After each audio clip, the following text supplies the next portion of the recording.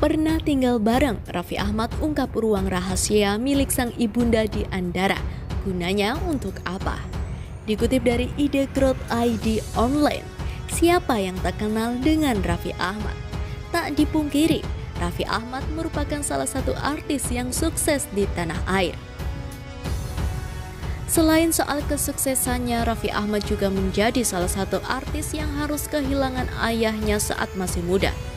Diketahui sang ayah Munawar Ahmad meninggal pada 19 Juli 2006. Saat itu Raffi Ahmad masih remaja berusia 19 tahun. Sontak saja, hal itu membuat Raffi menjadi tulang punggung keluarga menggantikan sang ayah. Kini Raffi dikenal sangat sukses di dunia hiburan. Bukan tanpa alasan, Raffi diketahui memiliki rumah hingga mobil mewah dia juga kini memiliki sejumlah bisnis yang membuatnya meraih banyak pundi-pundi uang. Kamar Mama Ami sudah menikah ibu dan dua adiknya justru sempat tinggal di rumahnya di Andara. Mama Ami kini diketahui memilih untuk tinggal di rumah lama mereka di daerah Lebak Bulus. Kamar Mama Ami yang ada di Andara pun akhirnya kosong.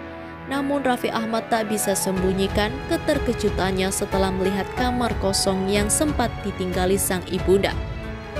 Melansir weekend.id, terlihat dari sebuah video Instagram, nampak Raffi Ahmad menemukan sebuah ruang rahasia yang ada di kamar mandi. Aku mau ngasih tahu, Mama Ami ternyata punya rahasia. Ini kan kamarnya udah kosong. Mama sekarang tinggal di Lebak Bulus, ujar Raffi Ahmad. Raffi Ahmad mengaku tak tahu menahu soal ruangan rahasia yang bentuknya memanjang tersebut. Ternyata lihat ini kamar mandi, ada pintu rahasia. Dibuka ternyata ini buat apa ya? Ujar Raffi penasaran. Itu buat taruh tas-tas baju, sepatu, jawab Nagita Slavina menjelaskan. Mama naruh sepatu atau apa gitu. Terus juga ini juga nih lihat ada pipa di sini timpal Raffi.